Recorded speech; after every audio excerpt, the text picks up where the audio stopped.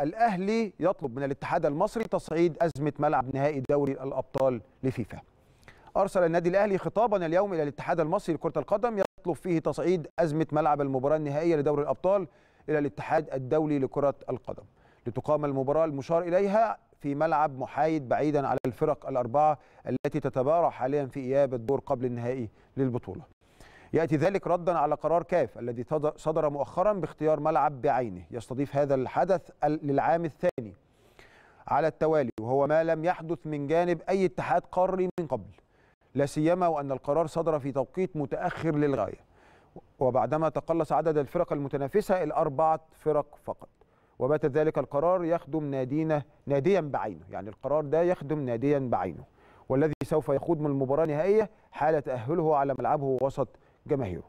زي ما عودنا النادي الأهلي ما بيسيبش حقه. النادي الأهلي بياخد كل الطرق الشرعية وكل الطرق القانونية للحفاظ على حقه.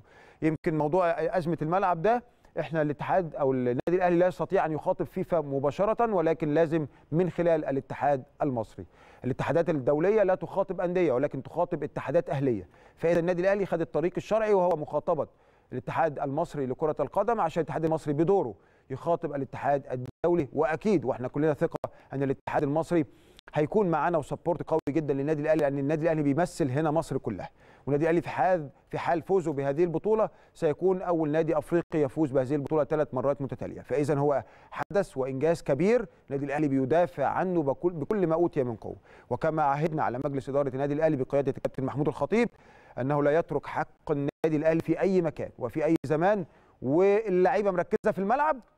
تلعب إن شاء الله إياب البطولة يوم السبت القادم في قبل النهائي ولكن مجلس إدارته بيحارب هنا عشان الطريق أو الخطوة التالية إن شاء الله تكون محاطة بكل يعني أسباب النجاح. ما ينفعش يبقى في فرقة يعني هتوصل final إحنا شفنا حتى في بطولة أوروبا ما فيش حاجة اسمها ال final بتاع ال Champions League يلعب يتلعب أو يتلعب في أي يعني ملعب من الفريقين أو أي بلد من الفريقين المتأهلين. ده في أوقات يعني يعني بيحصل إن فريق بيبقى محدد الملعب منذ البداية وبعد كده فريق يتأهل من هذه البلد بيتم تغيير على طول الملعب في الاتحاد الأوروبي لكرة القدم. إزاي هنا أنت مصر والقرار طلع متأخر عشان يتلعب في المغرب؟ اذا النادي الأهلي كما عهدناه بيتخذ كل الطرق الشرعية عشان الحفاظ على حقوق فريقه وإن شاء الله كلنا ثقة.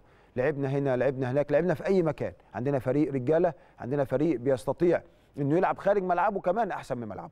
ولكن انت بتاخد كل سبل النجاح والباقي وكل شيء على الله سبحانه وتعالى. وبالظبط يعني يمكن حتى حصولنا على أربع ألقاب خارج ملعبنا يعني من العشر ألقاب بتوعنا ده أكبر دليل. يعني أربع ألقاب إحنا يعني العشر إحنا خدنا 10 كؤوس أفريقيا خدنا منهم أربعة بره ملعبنا. فلكم أن تتخيلوا أن 40% من البطولات أنت خدتها بره ملعبك فلو لو ده بيدل فبيدل على صلابة و و و وقوة النادي الأهلي. ومش كده بس كمان لأ ده بيدل على إن الفرقة بتستطيع تلعب بره زي بتلعب جوه. فمعدن اللعيبة نثق فيه ونثق في في مجلس إدارة النادي الأهلي ونثق في شخصية ومعادن اللاعبين. كلنا ثقة عمرنا إن شاء الله بإذن الله ما هنفرط في هذا الحلم. حلم حتى الحقيقة شخصي ليا أنا إن إحنا نحقق. النادي الأهلي دايما بيكسر أرقامه وبيحطم يعني الريكوردز اللي عملها على مدار التاريخ. هو بينافس نفسه وبينافس إنجازاته. على المستوى القاري والمستوى الدولي والمستوى المحلي فالنادي الأهلي النهارده في صدد رقم كبير مش هنفرط فيه. رقم جديد وعظيم النادي الأهلي بإذن الله مش هيفرط فيه وإحنا الحقيقة بنحيي مجلس إدارة النادي الأهلي اللي هو يعني مصر. وكل يوم بنلاقي خطوة للحفاظ على حقوق الفريق ويوفر له كل أسباب وسبل النجاح.